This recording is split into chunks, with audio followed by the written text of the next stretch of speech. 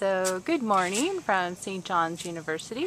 We're here this morning with Kira Gideon, Marlene Cervantes, Isabel Yama, Heather Rom. and yesterday we went on this cool pilgrimage to the Grasshopper Chapel. What did you guys think or uh, learn on the pilgrimage about yourself or about other people? How was that for you? I had a lot of fun on the pilgrimage. It was fun to get to know everyone in a deeper way. Like, I mean, I've seen them around on like campus and stuff, but I don't feel like I knew them very well. And to get to know their culture better and just get to know them, it was a lot of fun. Yeah, I like meeting like a lot of new people. I met a lot of new people, and I liked listening to like what their perspective was on different cultures and their stories.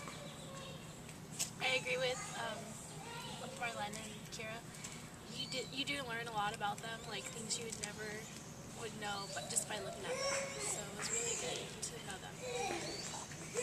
It was a lot of fun. I think it gave a greater appreciation when you finally reached the chapel. And you really learned a lot about everything.